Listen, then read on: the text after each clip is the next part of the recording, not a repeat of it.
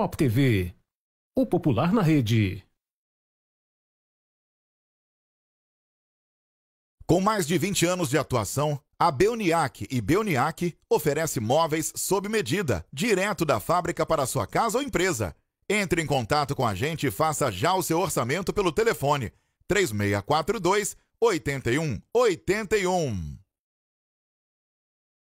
Olá pessoal que acompanha o Jornal Popular. A gente está aqui hoje com o seu Albertinho da Funerária Santa Rita, mais uma das lendas do nosso comércio, dos nossos serviços aqui de Araucária. E a gente está aqui para bater um papo com ele, para ele contar um pouco sobre a história da Funerária Santa Rita, de como que teve a, a ideia de montar a Funerária Santa Rita, o que levou ele a montar esse tipo de serviço e contar um pouco sobre a história dessa funerária que é tradição aqui em Araucária, que não tem quem não conheça aqui no município e também contenda a funerária Santa Rita. Senhor Bertinho, muito obrigado por aceitar esse convite para falar com a gente.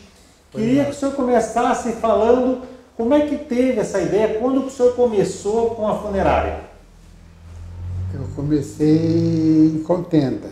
Eu, em contenda, quando eu fui que fui morar em Contenda, eu já tinha um vínculo com o pessoal de lá, já, já era ah, conhecido, amigo de todos, e começamos quando é, eu tive um bar em Contenda, comecei com um bar, é, daí comecei com um jogo de bilhar, com mesas de bilhar, é, daí com o tempo que eu comecei a namorar minha esposa, que vim morar aqui em Araucária, e que daí vim para cá. E aqui eu, com o nome da Rita, eu pus funerária Santa Rita. E comecei com funerária. Isso, senhor, e, o senhor, o senhor é nascido em Araucária? Nascido em Araucária. O senhor nasceu em que bairro aqui de Araucária? Que região de Araucária? Na estação. Na estação. Na estação. E daí o senhor começou, o senhor se mudou durante, o senhor se mudou para Contenda, chegou a morar em Contenda e lá começou a trabalhar. A trabalhar. Lá eu comecei com bar, né? E depois com mesa de bilhar e fábrica de carroceria. Daí comecei a lidar com carroceria, é, fabricando as carrocerias. E continuei com carroceria, com mesa de bilhar, com bar. E, e depois que eu vim aqui para o Caia, eu comecei a funerária Santa Rita. Eu tinha um amigo meu, que era da Lapa, é, ele tinha funerária na Lapa, o Tristão, e, e ele comentava que enquanto ele não tinha eu sempre conversava com ele que queria fazer alguma coisa diferente. Daí, como ele tinha funerária na Lapa e, e eu morava na Contenda, disse, pô, Roberto, por que, que não abre um, uma funerária, que era o cara? Digo, mas eu não entendo, não, não sei como é que cai, como é que lida e tal. Daí disse ele, não, eu vou te mandar o, o a fabricante de caixão para te vender os caixões. Eu digo, então tá bom, manda ele aí. Uma semana depois chegou o senhor da, de Ponta Grossa me oferecendo os caixão. E eu, inexperiente e tal, comprei os caixão dele. Do, de, de, um, oito, dez tipos de caixão. E daí abri a funerária. Ele me mandou os caixão e tal, e eu abri a funerária. E, por coincidência, Uns dias depois, morreu um, morreu dois, morreu três, morreu quatro pessoas num, num mês. Né? E eu me entusiasmei com, com o ramo. Né? E, e eu assim, não, sabia lidar com funerária. Não, mas daí, daí falei com ele, com, com o Tristão, e ele me, me explicou, foi, foi me dando, dando as dicas de funerária. E, e eu fui, fui seguindo o, o segmento dele. E, e passou, comprei mais outros caixão e tal, e, e, espalhou o boato em contenda que, que tinha funerária em contenda. Porque naquela época, que funerária não era que nem hoje que tem diversos. É, é, naquela época tinha quem era o cara, que era o senhor Eduque, o Estrangeiro Eduque, que tinha funerária, que começou com funerária, quem era o cara, e, e, e na Lapa que tinha o Tristão. Que tinha o Tristão. Daí que era Curitiba, que era Nossa Senhora Aparecida, que na época era, era mais conhecida. Né? Quando morreu aqui era o cara, o pessoal ia para Curitiba. E tinha Nossa, Nossa Senhora Aparecida, aqui no portão. E, e o senhor Eduque, que era o cara. E o senhor Eduque, na época, ele era muito conhecido. Ele era nascido aqui em Araucária, a família aqui da Araucária, conhecido tradicionalmente por todos, né? E, e era uma pessoa muito boa, o senhor Duque. E, e, e, ele, daí que eu entrei com a funerária, daí dividi, começou, comecei assim a entrar no, no ramo. Né? E, inclusive, daí até eu fui melhorando cada vez mais tal, ou, assim, fui me tornando bom, a, as famílias ficaram conhecendo a gente. E daí já foi, já foi atrapalhando o seu Eduque, né?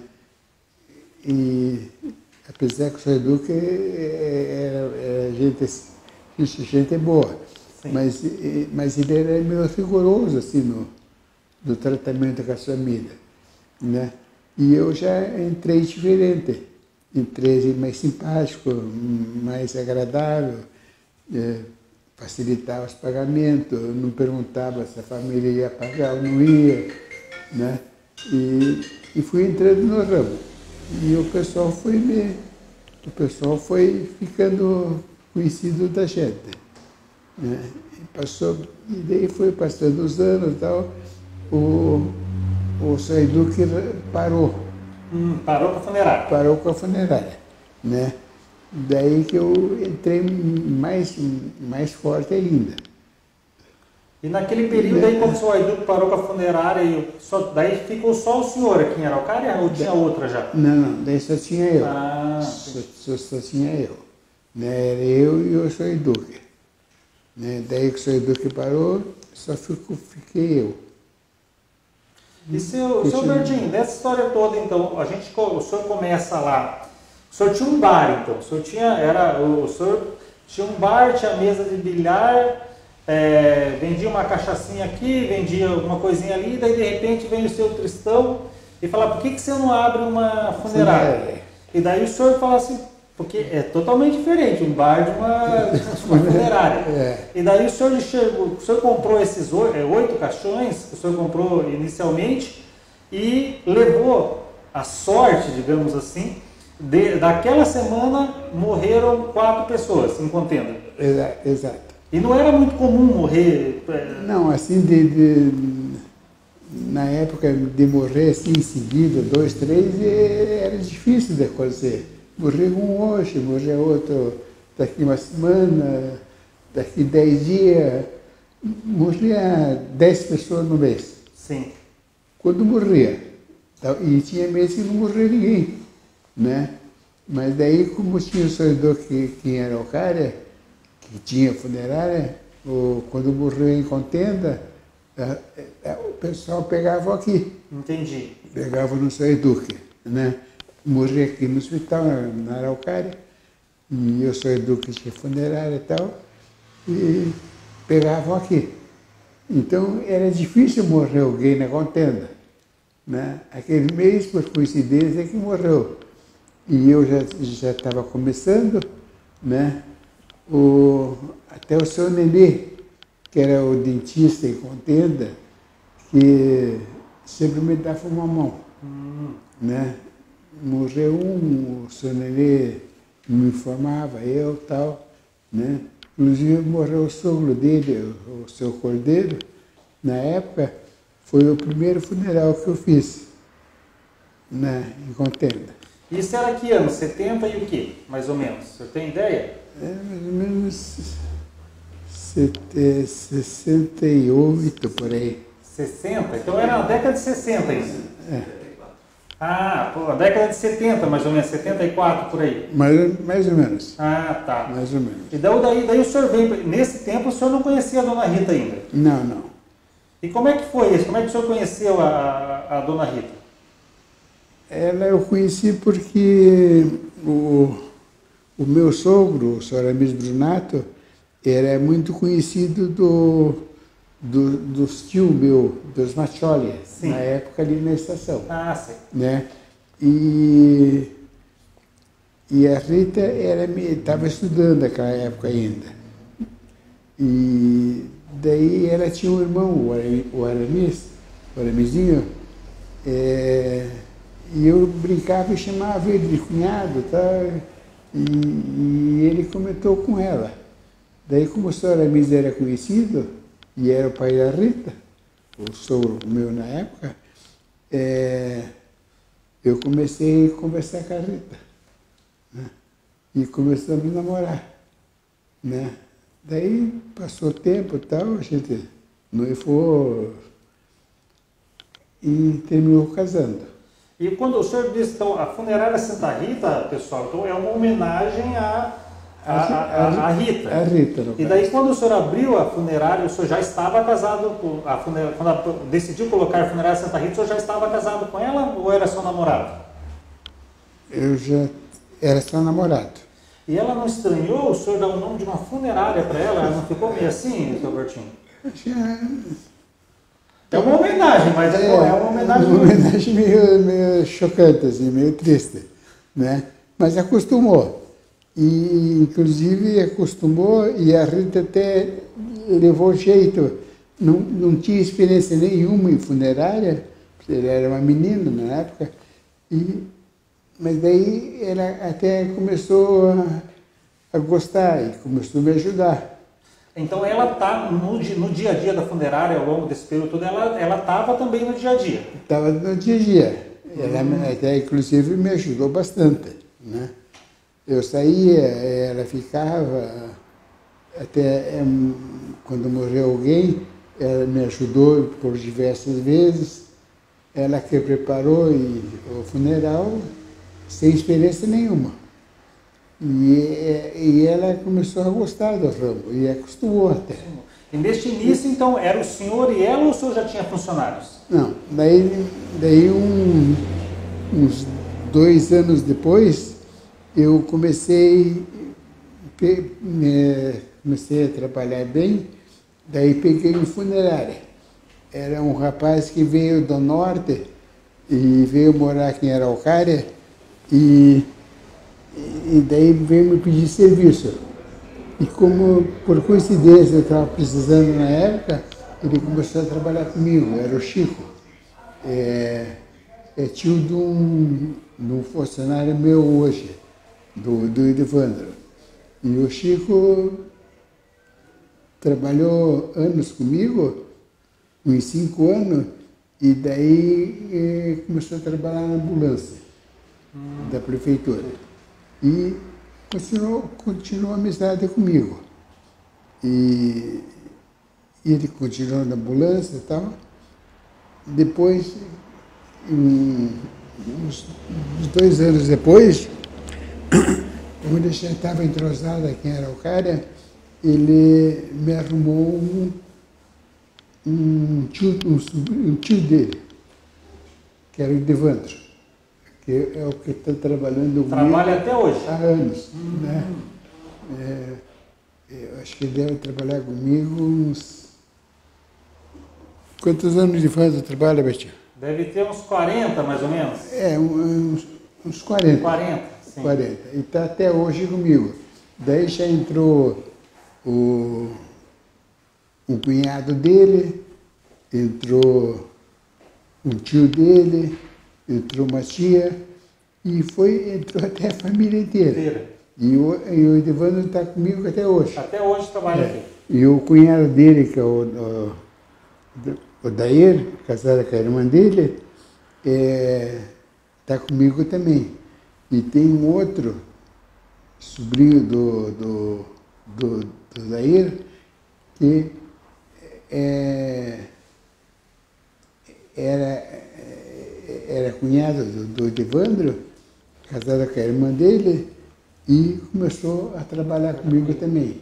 Entrou praticamente, então, três da família. Da família mesmo. Né? E, senhor Bertinho, nessa, nessa, nesse ramo de funerária, hum. é, o senhor, as pessoas às vezes não, não entendem direito como é que é esse, o lidar com o luto das pessoas. Então, é, embora seja um comércio, o Senhor aborda as pessoas, as pessoas procuram num momento muito sensível da vida delas, né? É do, do luto, da perda. Exatamente. Como é que é esse contato? Como é que é essa relação com essas famílias? Assim, quando acontece de falecer alguém, é, alguém da família vem nos procurar. Então, vem na funerária. E daí conta que a pessoa faleceu, faleceu em casa, faleceu no hospital, é, tá sendo, vai ser velado em tal lugar. Né? Então daí a gente providencia o, a arrumação do velório, o veste o defunto, é, leva o caixão, arruma o velório, vê onde vai ser, feita, vai ser feito o velório, em que lugar, na casa ou na capela, e providencia o velório. E daí é, marcado, é feito o velório, é marcado a área do enterro, o cemitério, e a gente faz o, o restante, que é o funeral. Né? Mas, mas primeiro a família providencia. É, um sentimento, com dúvida, assim, com tristeza e tal, mas é, é providenciado o funeral. Esse, o senhor estava falando um pouco que um dos, dos diferenciais que tornou o senhor é, muito querido e muito procurado aqui, principalmente quando comparado com, com o senhor Edu, que é que o senhor era, é, é, sempre foi é, mais próximo, assim, conversava mais com as pessoas. Isso o senhor acha que, que foi um. Que me ajudou bastante. Ajudou bastante. Né? No, assim, no, durante o velório e tal, é, pela simpatia minha, é, é que funerária geralmente é, a pessoa muito, é muito dinheirista. Quando morre alguém, a pessoa, a pessoa vem escolher o caixão, é, é, a, funerária chega que a família pague, o funeral resolve, que resolva tudo. Mas às vezes a família não tem condições, né? E a gente tem por obrigação de fazer o velório. Então, daí, ou com dinheiro ou sem dinheiro, a gente faz do mesmo jeito. É o que eu fazia. Eu primeiro fazia a obrigação minha, daí o problema de dinheiro era com o tempo que, que a gente acertava dez dias, uma semana depois tal, era que a família pagava as despesas do funeral. E isso foi me ajudando, assim. E eu então, fui... o senhor tinha procurava naquele momento de luto, primeiro, temos que resolver, temos que fazer o velório. Depois essa questão do dinheiro, do custo, a gente, a gente dá um jeito. Depois a gente resolvia. E geralmente a família sempre paga. Isso que eu ia perguntar para o senhor, não, é. não, o pessoal não é. é muito de dar calote, nada assim. Olha, para ser sincero com você, de todos os funerais que eu atendi, se eu perdi cinco funeral foi por descuido. Né? Geralmente a família sempre paga. Que bom. Hum, pode ficar tranquilo, pode atender. Uma semana, dez dias depois, a família vem e acerta. Né?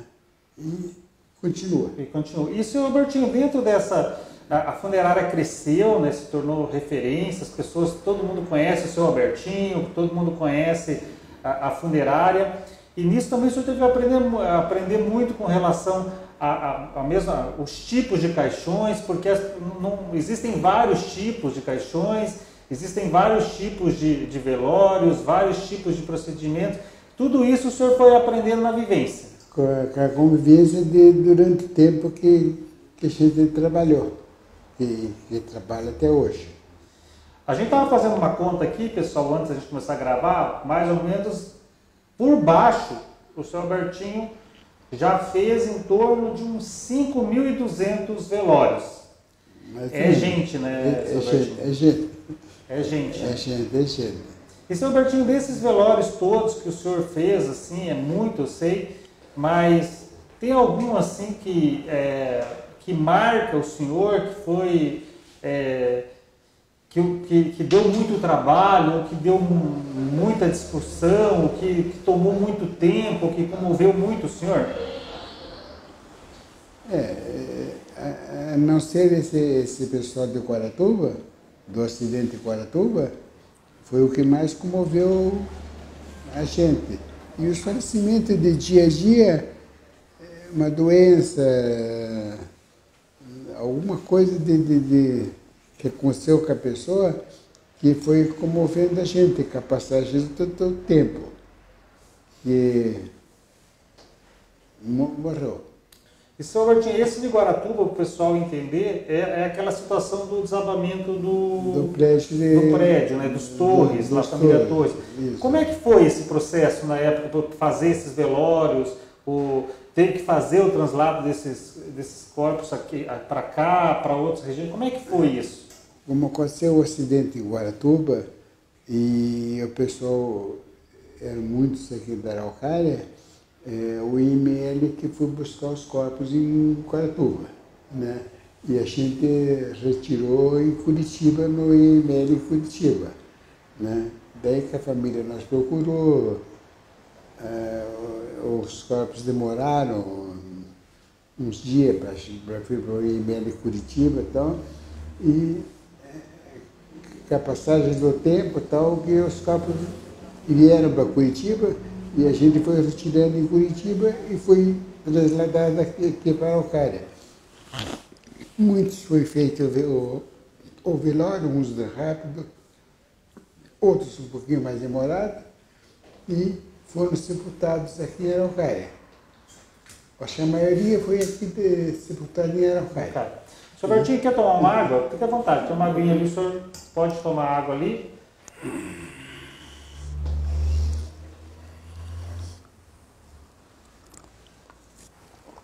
Foi muito triste na época os falecimentos. Era tudo gente nova, gente jovem. É, foi assim, foi, foi, foi uma barbaridade. E, nesse, e, e nessa, é, isso é uma, uma pergunta que, gente, é, que as pessoas têm curiosidade. É, nesses velórios, obviamente todos é, tendem a, a, ser tristes, mas o senhor já fez velório de pessoas muito idosas, de pessoas que morreram é, inesperadamente, de, de crianças, é, de bebês. Como é que é isso? Como é que, o, que, que, o que, que mais, com o passar do tempo, e isso é uma característica do senhor, o senhor é, é, não deixa de ficar comovido independentemente do tipo de velório? É, pois o velório em si na, na realidade é, é a mesma coisa, né? tanto para adulto como para criança, só que tem certos casos que, que a gente se comove. É, uma criança, por exemplo, é lamentável. Né? Uma pessoa mais, de mais idade e, assim, de repente, um, um falecimento inesperado, a gente se comove mas, infelizmente, tem de fazer. tem de enfrentar o problema do, falecimento, do, do velório e fazer o sepultamento. O consentimento ou sem sentimento é feito mesmo procedimento. Legal. Pessoal, bate-papo aqui com o seu Albertinho. A gente agradece muito essa oportunidade de conversar com ele. Robertinho, se fosse para a gente ficar contando os caos aqui, a gente vai ficar dias e dias e dias, porque 44, mais de 44 décadas aí nesse, nesse ramo, é, é com uma... certeza o que não faltam são histórias, né, seu Robertinho? É uma, é uma vida. E hoje o senhor, hoje o senhor já está mais só, o senhor, o senhor, no dia a dia já o senhor não está mais, né? Hoje, no, hoje o senhor já passou o bastão. É, praticamente passei o bastão porque daí eu fiquei doente e tal. É, o Albertinho, por sorte minha, ele leva jeito pro ramo, ele é muito bom também, né? e continuou com o mesmo segmento meu. Se perguntar se vão pagar ou se não vão, eu, ele atende gentilmente, favorece do que for preciso e resolve o problema. Né? Então eu já estou assim, mais retirado do. Né? E estou meio com dificuldade também na vista tal, então me atrapalhou bastante. Mas sempre, sempre saio junto com os, com os, com os meu, vou, acompanho o velório e tal. É, o pessoal até fica satisfeito quando me vê no velório. Né? E, e eu continuo no jogo. Uhum. Seu Bertinho, eu, eu, nesse, a gente está vivendo aí um momento de pandemia, né? um momento que, é, infelizmente, a gente está vendo muitos velórios que, que, a, que, as famílias não tiveram a oportunidade de se despedir do, dos, seus, do, dos seus entes queridos. Né? Isso é, um, é uma situação difícil? É uma assim? situação difícil, porque às vezes a família não se conforma com a realidade de falecer e não poder fazer o enterro normal.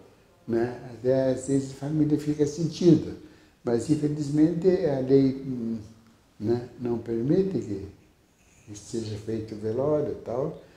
É, geralmente o velório é 24 horas, mas agora esse procedimento é feito dentro de duas horas. Então a família não se conforma com a realidade. E a gente tem de explicar e se conformar com a realidade. Né? Mas a família entende, a família agora está assim, tá mais. O pessoal está mais, mais ciente, né? então todos concordam de fazer o velório. E, e é feito esse comportamento. Legal. Sr. Bertinho, muito obrigado mesmo por conversar com a gente, bater esse papo. Queria que o senhor deixasse um recado final para as pessoas aí que, a, que, a, que acompanham a nossa página, para as pessoas que conhecem a, a funerária Santa Rita. O que, que dá é, nesses 40 anos, é, mais de quatro décadas aí de trabalho, qual que é a mensagem que fica, que é, qual que é a história, é, o recado final que o senhor gostaria de deixar para as pessoas?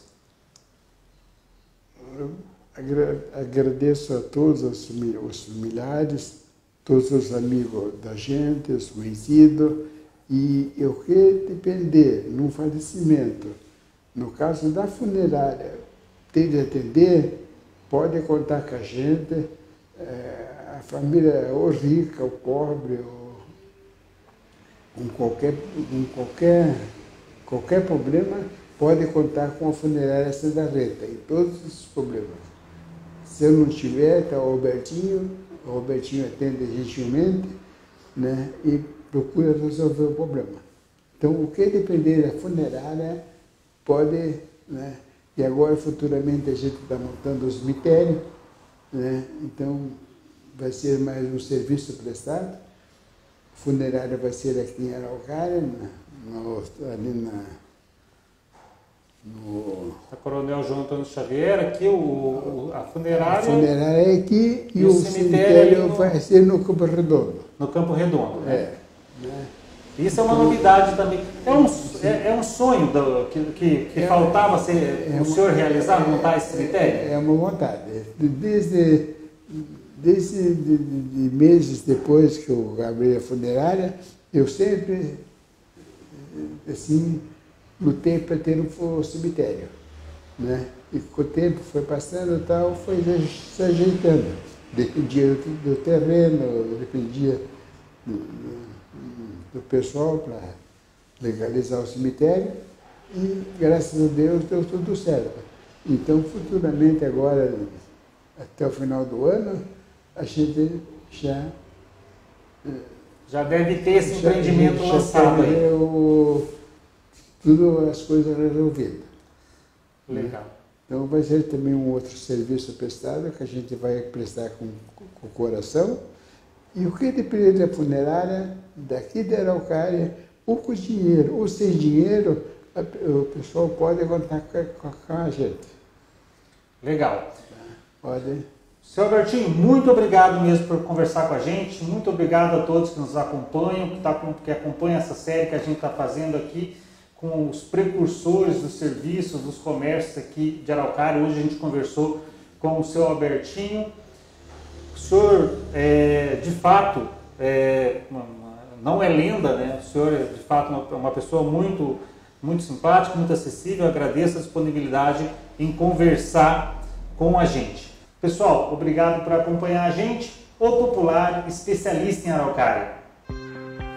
Está precisando de produtos de saúde, beleza e bem-estar? Então conheça a Masterfit Saúde Store. Atendemos de segunda a sábado e você pode comprar diretamente na loja ou fazer seu pedido por delivery. Também trabalhamos com venda e locação de produtos médicos hospitalares. Para mais informações, entre em contato com a gente pelo telefone 3552 7156.